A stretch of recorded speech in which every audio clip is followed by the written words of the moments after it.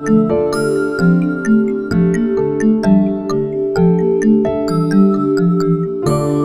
बहुत बार ऐसा होता है कि अगर बच्चे को फ्रैक्शन वगैरह टाइप करना है तो वो नहीं हो पाता। उसके लिए एक और टूल है इक्वेशियो करके क्रोम एक्सटेंशन कहते हैं उसको। ऑफ़ कोर्स आप बाकी बच्चे और आप खुद एज टीचर भी यूज़ कर सकते हैं। उसके अंदर भी एक वॉइस uh, टाइपिंग ही फीचर अवेलेबल होता है। तो जो बच्चे हैं, अगर बच्चा कुछ लिखना चाहता है, कोई फ्रैक्शन लिखना चाहता है स्क्वायर रूट या कुछ भी ऐसी चीज़ें लिखना चाहता है सिंबल्स वो बच्चा आराम से बोल के और वो इक्वेशियो के अंदर वॉइस टाइपिंग हो सकती है। प्रॉपरली आपके मैथ्स के सारे सिंबल्स वहाँ पर अवेलेबल होते हैं। तो वो एक टूल है जो मैंने अपने बच्चों के साथ यूज़ किया है।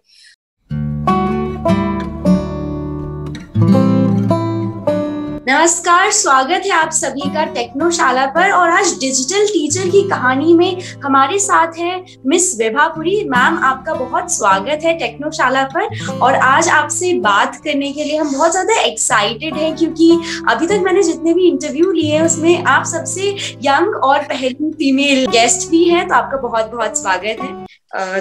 तो चलिए हम शुरुआत आपके बारे में जानने से करते हैं। तो अगर आप सबसे पहले अपने बारे में कुछ बता सकें तो। Thank you thank you so much सबसे पहले तो आपको नमस्ते, सभी दर्शकों को नमस्ते। मेरा नाम विभा है और मैं एक मैथ्स की टीचर हूँ। संस्कृति स्कूल में, न्यू दिल्ली में संस्कृति स्कूल है। वहाँ पे मैं एक मैथ्स की टीचर हूँ और मैं एक गूगल सर्टिफाइड ट्रेनर भी हूँ। तो बच्चों के साथ काम करने का ऑफकोर्स मौका मिला है और टीचर्स के साथ भी काम करने का मौका मिला है। तो बहुत बहुत अच्छी किस्मत समझती हूँ मैं अपनी। एंड uh, आप लोगों का बहुत बहुत धन्यवाद। आप लोगों ने मुझे इतना योग्य समझा। आप लोगों ने मुझे यहाँ टेक्नोशाला की टीम को बहुत बहुत धन्यवाद। आप लोगों ने मुझे यहाँ पे बुलाया। थैंक यू तो मैम अगर हम शुरू करें आपके फैमिली बैकग्राउंड से कि कि आप कैसे बैकग्राउंड से आती हैं और आपको मोटिवेशन कहाँ से मिला टीचर बनने का? फैमिली uh, में मेरी फैमिली में मेरी दादी हैं मेरे माँ बाप हैं uh, भाई और भाभी हैं।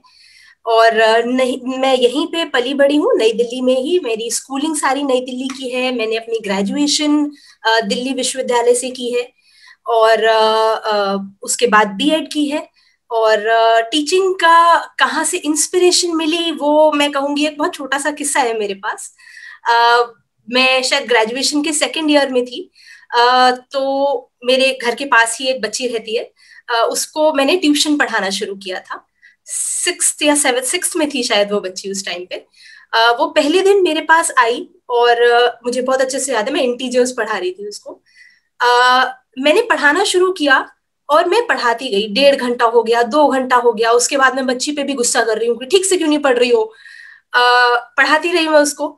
फिर फाइनली अच्छा मैं तंग आके मैंने उसको घर भी भेज दिया। फिर मुझे उस दिन मेरी मदर ने बोला बाद में कि बाबा एक ही बार में सब कुछ नहीं होता। बच्चे को तुम दो ढाई घंटा नहीं पढ़ा सकते हो एक ही बार में बच्चा नहीं समझ सकता है उतना। उस दिन मुझे यह एहसास हुआ कि मुझे पढ़ाने में इतना मज़ा आ रहा था कि मैं सोच ही नहीं रही थी कि उस बच्चे के बच्चा क्या फील कर रहा है। तो उस दिन मुझे एहसास हुआ कि शायद मुझे इस चीज़ में बहुत मज़ा आता है। uh, उसके बाद मैंने डिसाइड किया कि मैं बीएड करूँगी और बीएड करने के बाद यहाँ संस्कृति स्कूल में जर्नी शुरू हुई। थैंकफुली वो बच्ची अगले दिन वापस आ गई मेरे पास। अगर हम टेक्नोलॉजी की बात करें तो आपको क्या लगा है? आईसीटी जो एक ऐसा माध्यम है उससे आपको क्या हेल्प मिली है? और आईसीटी के ज़रिए अगर हम आज देखें कि शिक्षा के क्षेत्र में बहुत बहुत कुछ बदलाव हो सकता है तो आप उस पर क्या कहना चाहेंगे? बहुत शिक्षा के क्षेत्र में क्या मैं कहूँगी हमारी सारी ज़िंदगी बदल गई है टेक्नोलॉजी के रहते। मुझे अपना स्कूल बहुत अच्छे से याद है। बहुत टाइम नहीं हुआ स्कूल छोड़े। मुझे बहुत अच्छे से याद है किस तरीके से हमारी पढ़ाई होती थी, किस तरीके से हमारे टीचर्स एक्टिविटीज़ क्रिएट करते थे और कितनी मेहनत करके एक्टिविटीज़ क्रिएट करते थे। मैं ये नहीं कह रही अभी नहीं करते टीचर्स मेहनत। लेकिन बहुत बहुत फ़र्क आ गया है। मतलब पिछले सात आठ साल में ही मुझे ऐसा फील होता है कि दुनिया कहाँ से कहाँ पहुँच गई है। तो डेफिनेटली मेरे हिसाब से बच्चे आजकल बिना मोबाइल के जी नहीं सकते। बच्चे आजकल पूरा पूरा दिन मोबाइल पे रह, रह रह सकते हैं। तो क्यों ना हम उस चीज़ को अपने फ़ायदे के लिए यूज़ करें क्यों ना हम बच्चों को वही चीज़ अपने फ़ायदे के लिए यूज़ करके उनको पढ़ाएँ उनको आ, हम ये ध्यान रखें कि ये सिर्फ़ टाइम वेस्ट नहीं कर रहे हैं सिर्फ़ गेम्स नहीं खेल रहे हैं वो गेम्स खेल के कुछ सीख भी रहे हैं। तो डेफिनेटली टेक्नोलॉजी ने बहुत बहुत चीज़ें बदल दी हैं। पूरा पढ़ाने का तरीका बदल दिया है। अभी पिछले साल के अंदर अंदर तो सब कुछ ही बदल गया है। और seriously hats off to all the teachers आप लोगों ने जितनी मेहनत की है, मैंने बहुत सारे टीचर मैं अगेन मैं कहूँगी, मैं तो उस जनरेशन से हूँ, मैंने शुरू से कंप्यूटर्स देखे हैं, पर बहुत बहुत टीचर्स ऐसे हैं जिन्होंने कभी कंप्यूटर्स यूज़ ही नहीं किए थे, बहुतों ने मोबाइल्स भी यूज़ नहीं किए थे।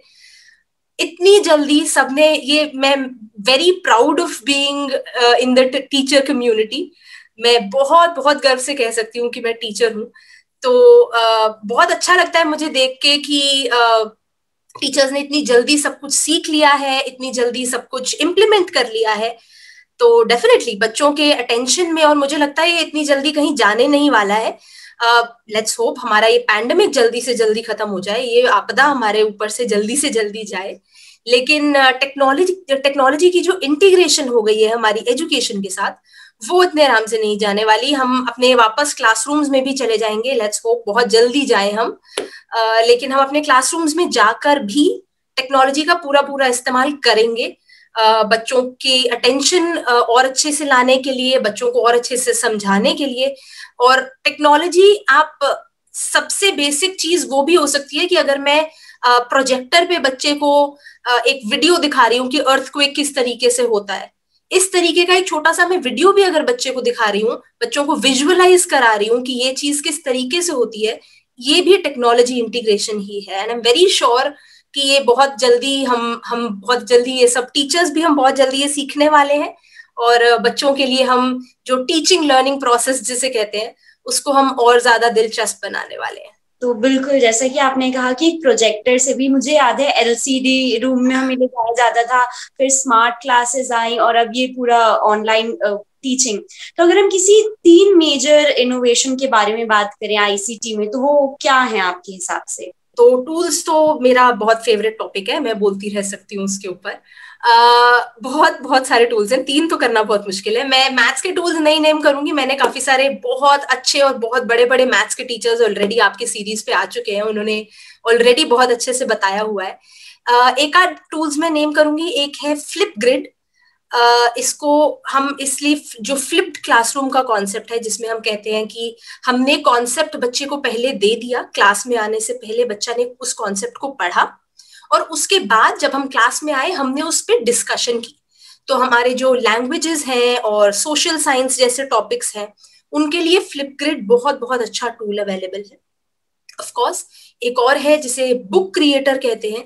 बच्चे डिजिटल ई बुक्स क्रिएट कर सकते हैं बहुत इजीली पिक्चर्स टेक्स्ट डाल के और मुझे याद है अगेन एक छोटी सी एक्टिविटीज़ हमारी होती थी इंग्लिश और हिंदी में जब छोटे थे कि समर uh, वेकेशन में आप लोग एक स्टोरी बुक बनाइए एक कॉमिक बुक बनाइए।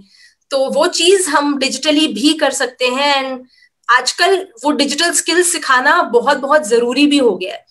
मतलब अगर मैं अपने बच्चों को स्कूल में कहूँ कि नहीं, तुम पेपर पे ही काम करो। लेकिन बारहवीं के बाद उन्होंने बाहर दुनिया में जाना है, उन्होंने कंप्यूटर पे ही सारा काम करना है तो बहुत ज़रूरी है कि मैं बच्चों को डिजिटल स्किल्स शुरू से ही सिखाना शुरू कर दू। तो बुक क्रिएटर उसके अंदर बहुत काम आता है और एक कुछ छोटी छोटी चीज़ें हैं जो मुझे आ, मैं चाह चाहती हूँ कि सबको पता चले। आ, एक हमारे पास गूगल डॉक्स जो होते हैं जो एक वर्ड प्रोसेसर की तरह काम करता है गूगल डॉक्स में आपके पास वॉइस टाइपिंग का ऑप्शन होता है जो मेरा फेवरेट फेवरेट टूल है। वॉइस टाइपिंग के फीचर से आप क्या कर सकते हैं आप सिर्फ़ बोलिए और गूगल आपको पूरा का पूरा टाइप करके देगा। तो अगेन जो भी लैंग्वेज टीचर्स हैं, जो भी साइंस सोशल साइंस के टीचर्स हैं, जिनके पास बहुत सारा टेक्स्ट होता है लिखने को, आप अपने पूरे पूरे क्वेश्चन पेपर्स उससे सिर्फ़ बोलिए और आपके लिए टाइप करके देंगे। इवन मैं कुछ कुछ स्पेशल एजुकेशन वाले बच्चों के साथ भी काम करती हूँ स्पेशल नीड्स वालों के साथ।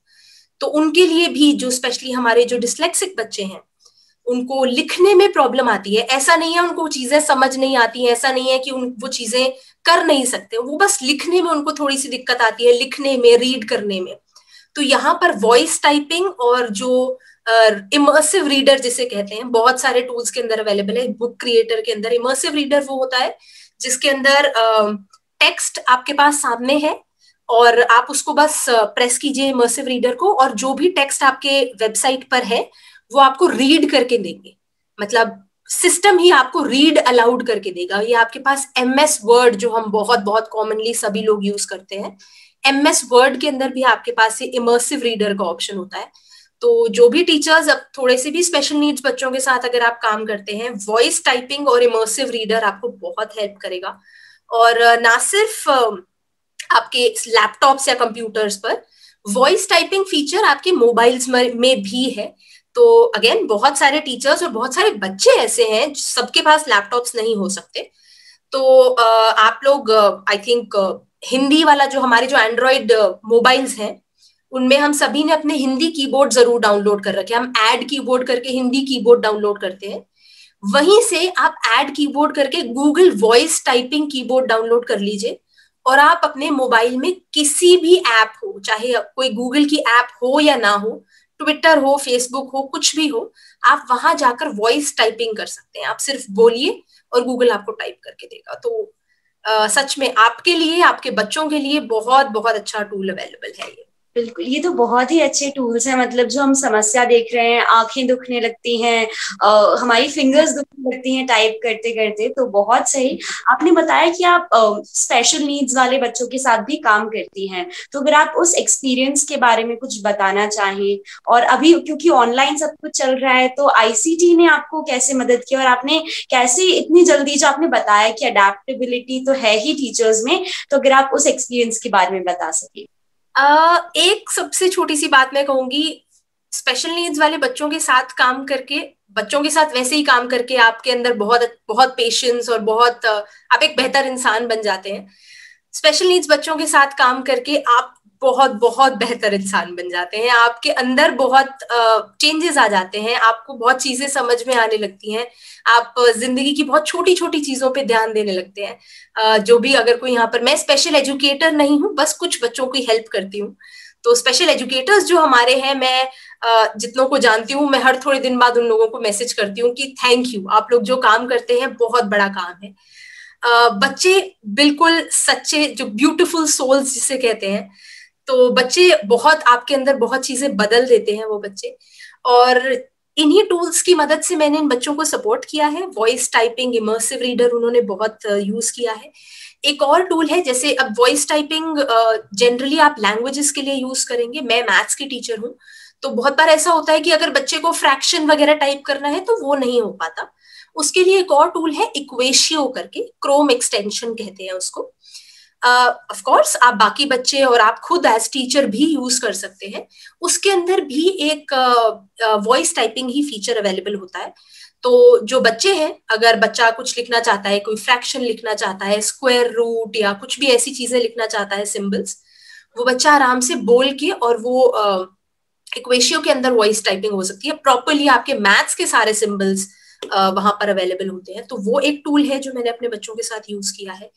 ऑफ़ uh, कोर्स एक गूगल लेंस अगेन एक मोबाइल पे बहुत छोटा सा टूल जैसे मैं बार बार मुझे हमेशा ऐसा लगता है कि सारे टूल्स हम लैपटॉप uh, के बारे में बात ना करें क्योंकि हमारे देश में बहुत बड़ी जनता है uh, जिनके पास लैपटॉप्स नहीं है। हम सब अभी भी काफ़ी लोग मोबाइल्स पर काम कर रहे हैं।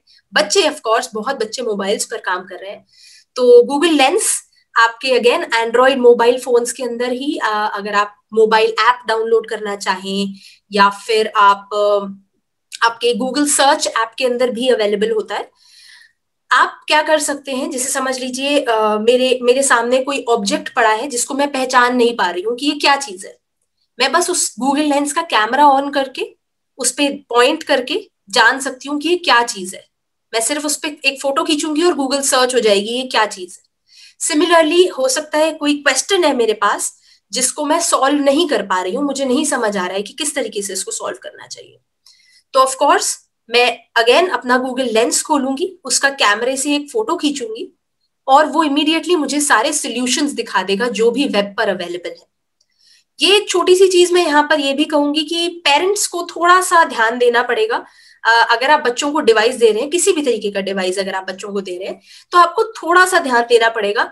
ऐसा भी ना हो कि बच्चा हर चीज़ बिल्कुल इंटरनेट से कॉपी करता जा रहा है। वो थोड़ा सा रिस्पॉन्सिबिलिटी पेरेंट्स पर भी आ जाती है, लेकिन बहुत बहुत हेल्पफुल टूल है और मेरे पास थोड़े से छोटे बच्चे हैं तो बच्चे तो बहुत ऑनेस्टली बता भी देते हैं कि, मैम, ये वाला क्वेश्चन मैं आधा छोड़ रहा था तो मैंने गूगल लेंस करके उसका आंसर पता लगा लिया। ये वाला क्वेश्चन मुझे लगा आप डांटोगे तो मैंने पूरा का पूरा उसको गूगल सर्च कर लिया। तो उस टाइम पे फिर मैं उनकी हेल्प कर देती हूँ बट ये थोड़ी सी चीज़ पेरेंट्स को ध्यान रखने वाली है। ऑफकोर्स ये पेरेंट्स भी यूज़ कर सकते हैं कि बच्चे को अगर कोई क्वेश्चन समझ नहीं आ रहा है, आप उसका मतलब आपको भी अगर नहीं समझ आ रहा है तो आप उसका आंसर सर्च करके फटाफट बच्चे को हेल्प कर सकते हैं। तो ये दो तीन चीज़ें हैं। मोबाइल के अंदर ही हम हम पूरी, पूरा जहान लेकर घूम रहे हैं।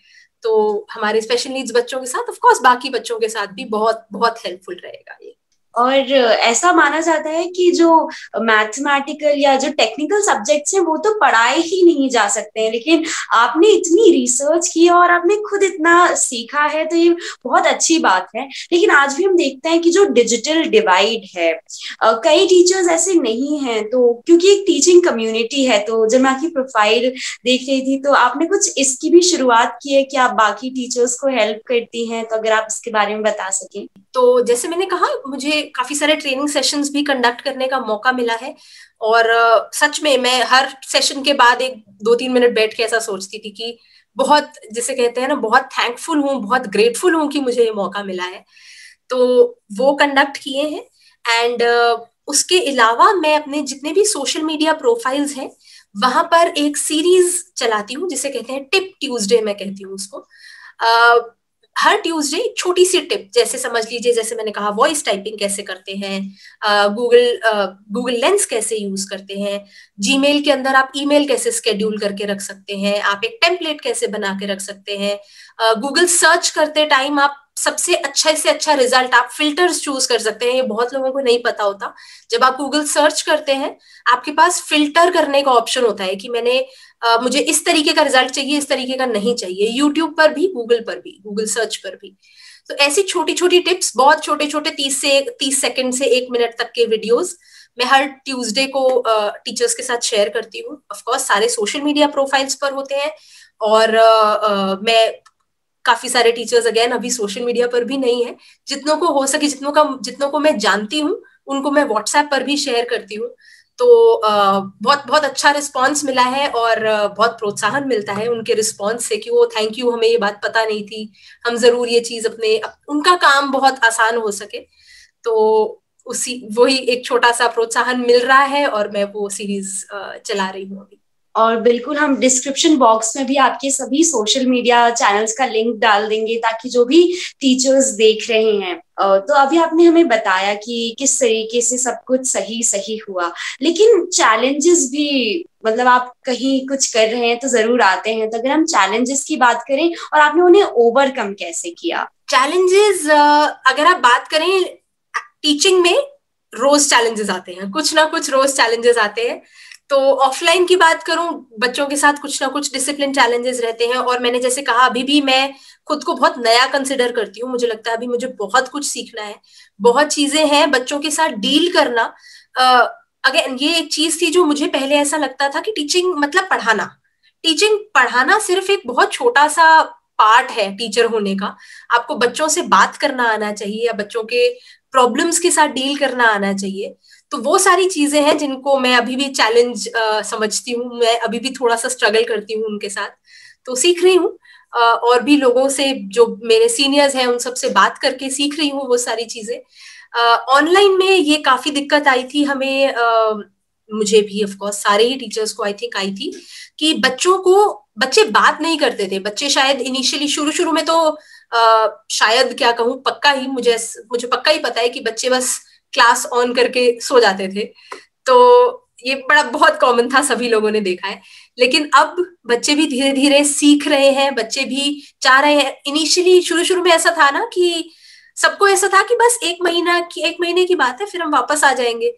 तो बच्चे भी अब ऐसा उनको लगता है कि यही स्कूल है, यही हमारी क्लासेस हैं। बच्चे भी सीख रहे हैं, हम भी सीख रहे हैं। और बच्चों के इंटरेक्शन करवाना बहुत बहुत बड़ा चैलेंज था।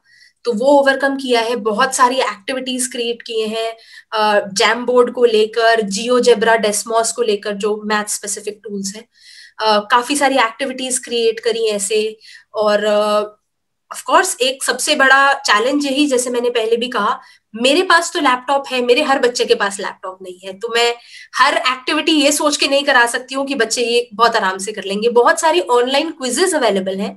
बहुत इंटरेस्टिंग क्विजेज मैं करवा सकती हूँ, क्योंकि मेरे पास लैपटॉप है, पर मेरे हर बच्चे के पास लैपटॉप नहीं है। इतना आसान नहीं है।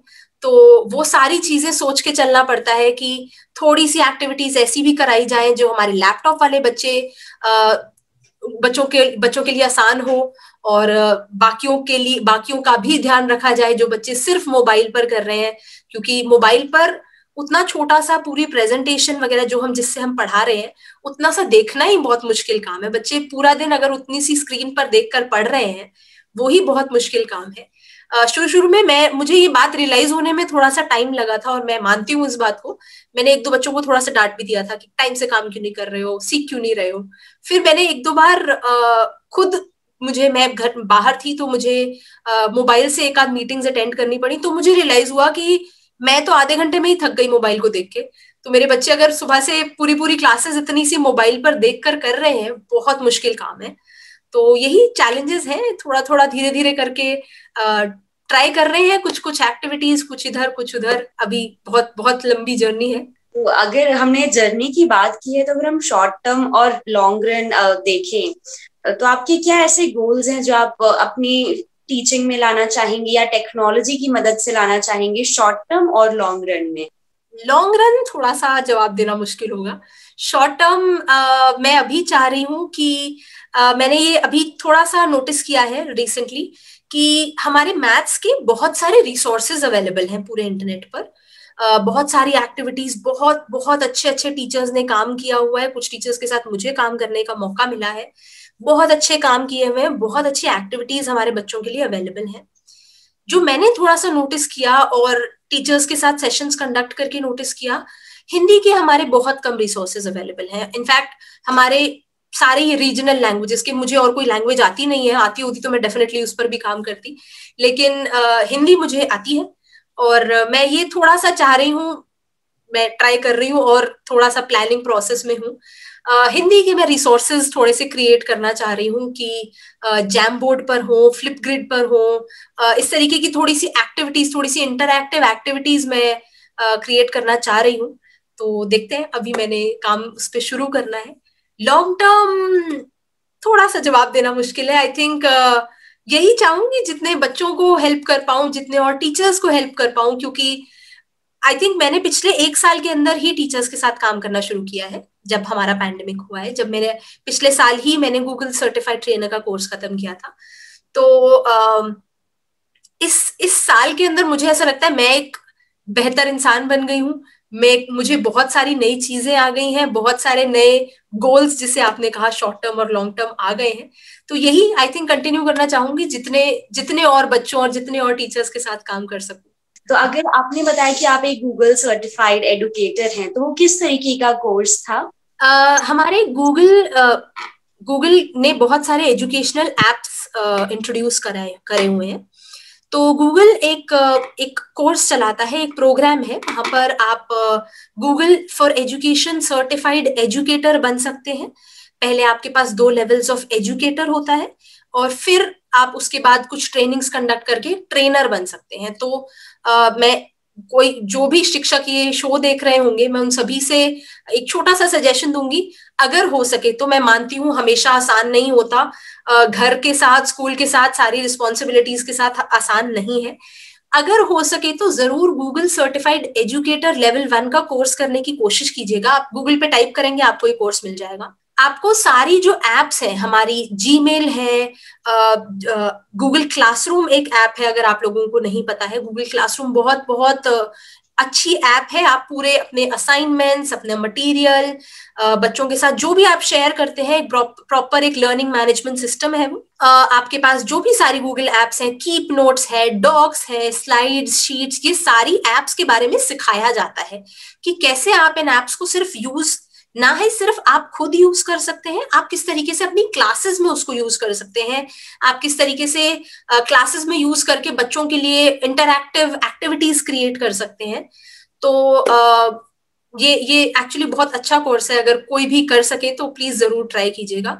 तो मैं खुद को काफ़ी खुशकिस्मत मानती हूँ कि मैं ये कर पाई हूँ और मुझे उसकी वजह से काफ़ी सारे आगे मौके मिले हैं टीचर्स के साथ काम करने बिल्कुल। आपने बहुत सारे एप्स और रिसोर्सेज टूल्स के बारे में भी बात करी टीचर्स के लिए। लेकिन अगर एक वो संदेश है जो आप चाहें कि जो भी टीचर आपको सुन रहा है इस वक्त देख रहा है उनके लिए अगर एक आप एक छोटा सा संदेश देना चाहें। एक चीज़ मैं ज़रूर कहूँगी सबको। थैंक यू आपने मुझसे पूछा। आ, मैंने काफ़ी सारे टीचर्स को ये देखा है कि, ओ, मैंने आज इस इस वेबिनार से ये टूल सीखा, मुझे इस, अपनी क्लास में लगाना है। आज इस वर्कशॉप से ये टूल सीखा, मुझे अपनी क्लास में लगाना है। ऐसे, अब इतने सारे टूल्स को देखकर आजकल हमारे इंटरनेट पे बहुत कंटेंट अवेलेबल है, बहुत सारे वेबिनार्स चल रहे हैं, बहुत सारी वर्कशॉप्स चल रही हैं। प्लीज़ इतना कुछ देखकर ओवरवेलम मत होइए, व्याकुल मत होइए कि मुझे सब कुछ अपनी क्लास में लाना है। ये एक आप इस तरीके का स्ट्रेस मत लीजिए इस तरीके का दबाव मत बनाइए खुद पर कि हाँ मुझे तो ये करना पड़ेगा। आज मुझे मेरे स्कूल में प्रोफेशनल डेवलपमेंट वर्कशॉप हुई। आज मैंने ये सीखा मुझे करना ही करना है क्लास में। ज़रूरी नहीं है अगर मैं आपको मैंने आपको बहुत सारे टूल्स के बारे में बताया ज़रूरी नहीं है सारे के सारे टूल्स आपकी क्लास में एप्लीकेबल हों। आपकी क्लास में आ, काम आए भी क्योंकि जैसे मैंने कहा, हर हर किसी की सिचुएशन अलग है।